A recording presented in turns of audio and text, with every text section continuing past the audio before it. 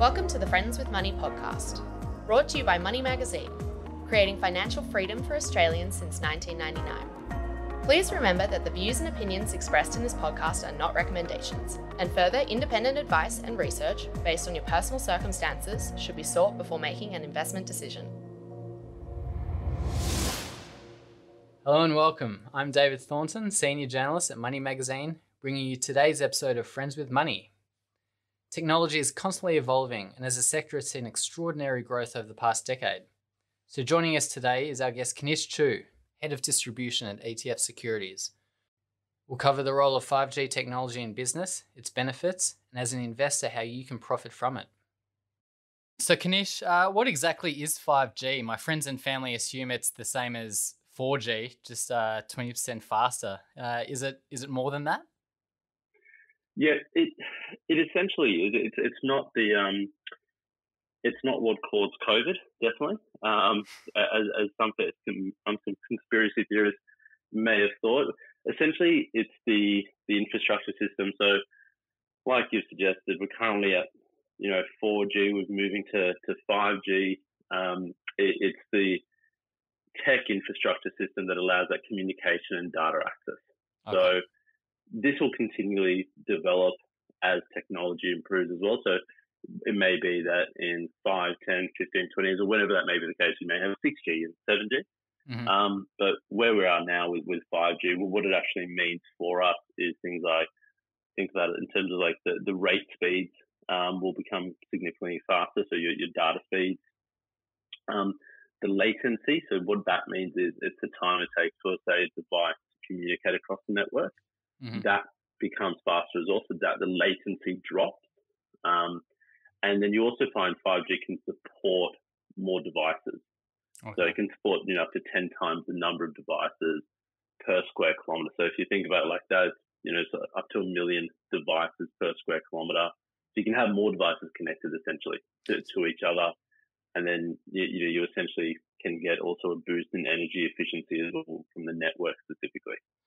So, as with a lot of tech, this will be an exponential improvement over 4G.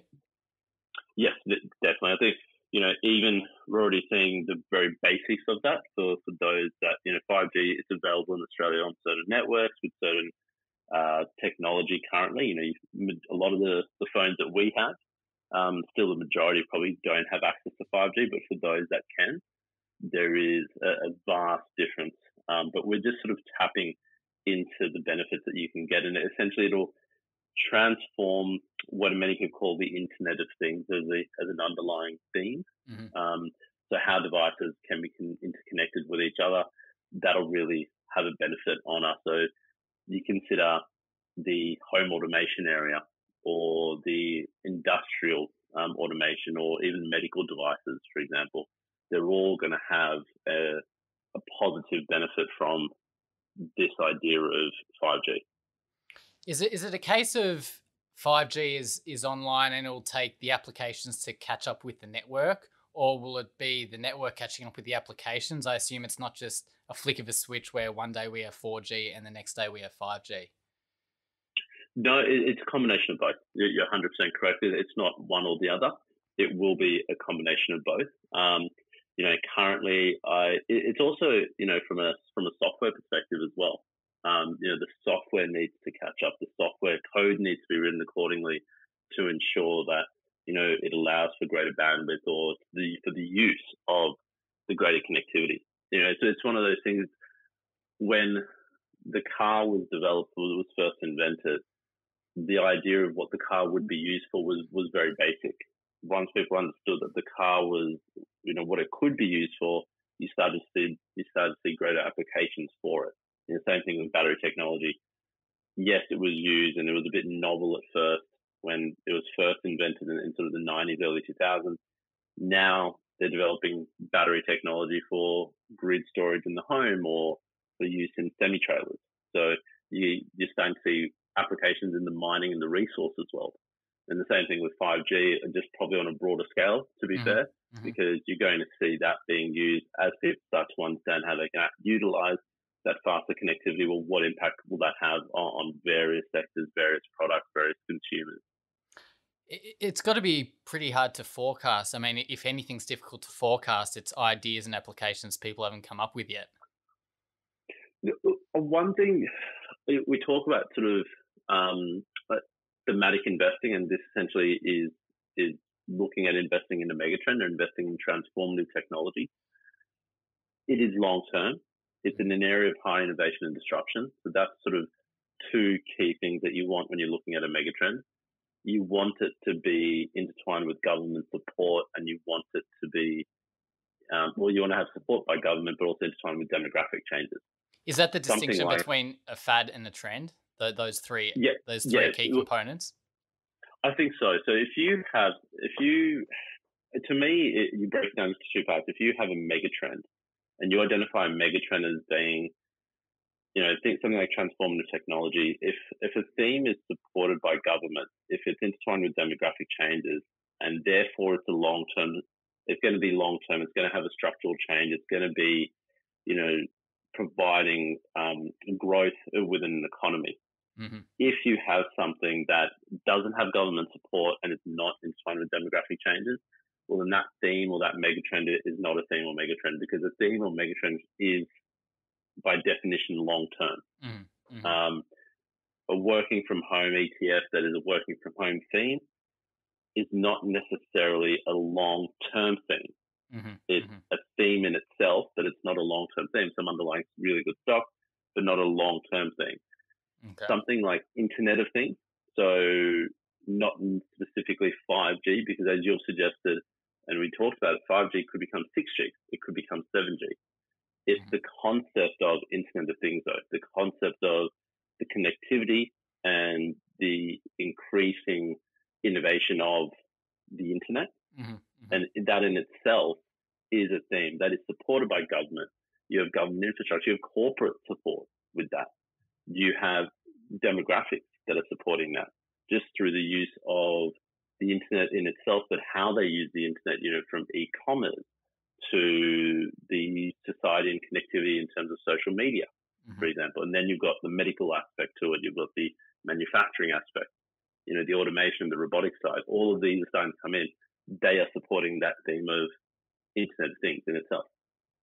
So moving on now to the investment piece, what what businesses and, and sectors do you see benefiting from it uh, first in perhaps the short uh, or medium term, and then as we've touched on, what businesses and sectors can benefit from it uh, in a, in the longer term? Yeah, so I think first and foremost, one of the the sectors and the companies that are going to benefit from this is semiconductors.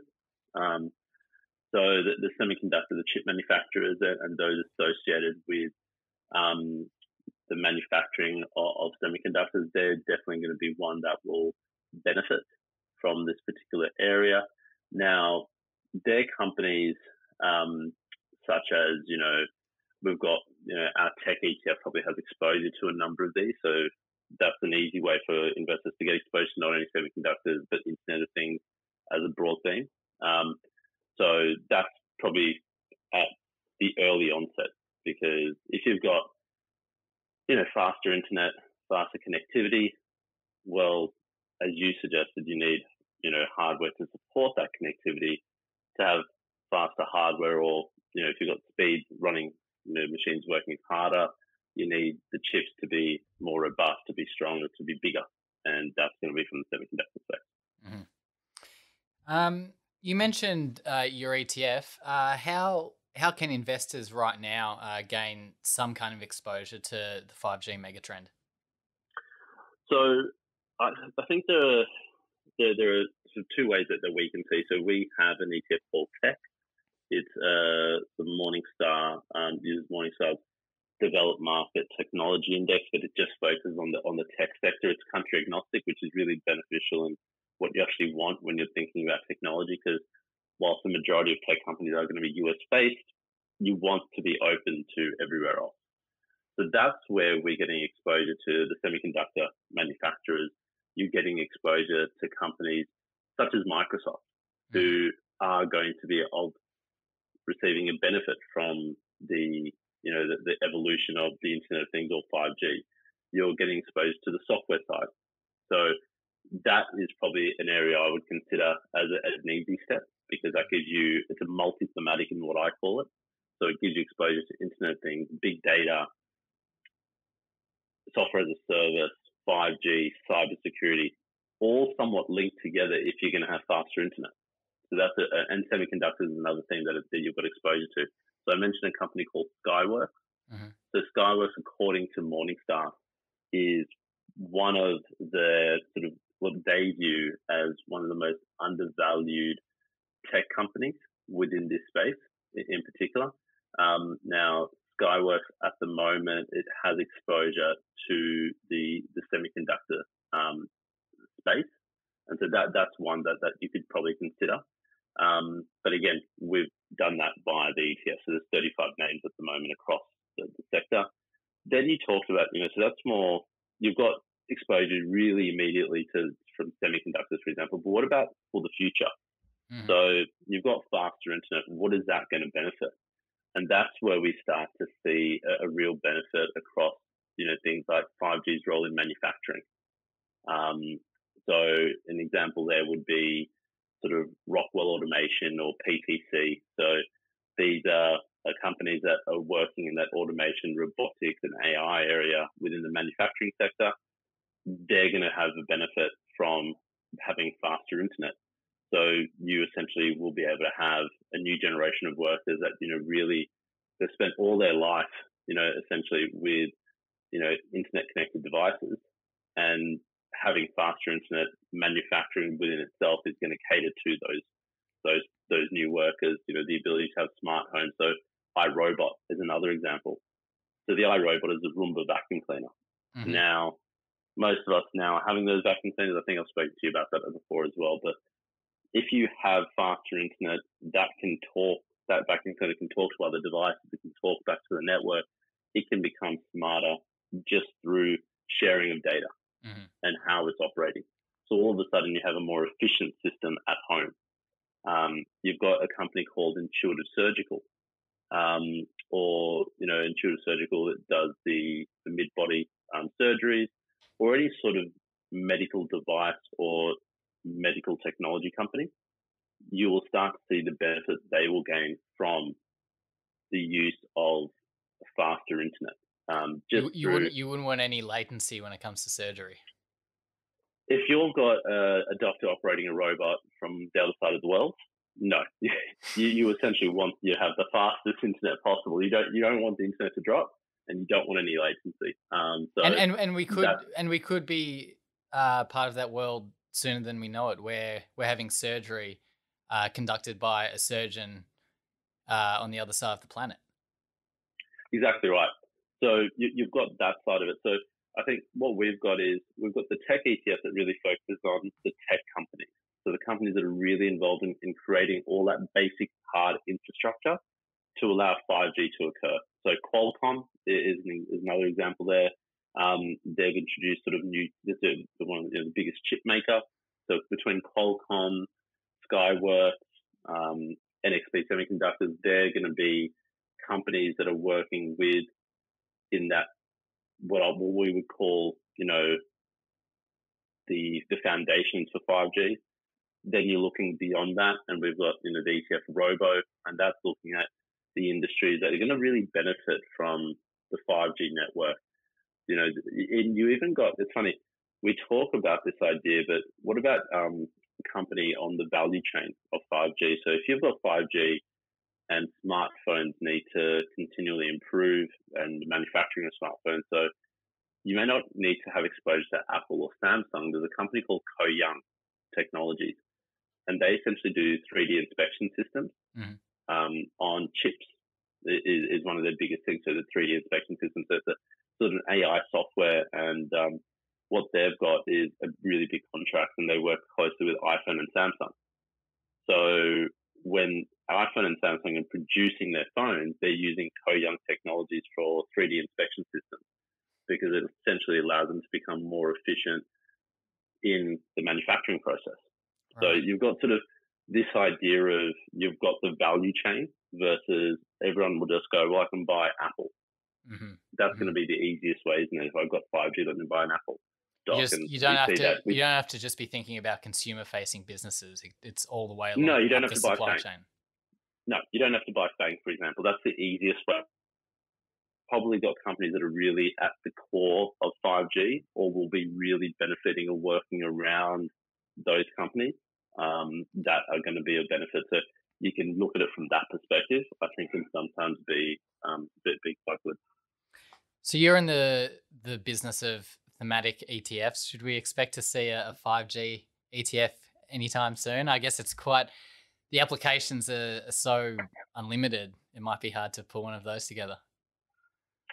I think, um, yeah, I, I think if you see a 5G, uh, who knows how, how long that will last on, on the shelf or with that name, because you may find that you'll have to rename it 6G. Um, so I think, you know, for us, we've got the ETFs that give exposure to the themes of Internet of Things, for example, or, and, you know, or give exposure to, to the underlying areas that are supporting this.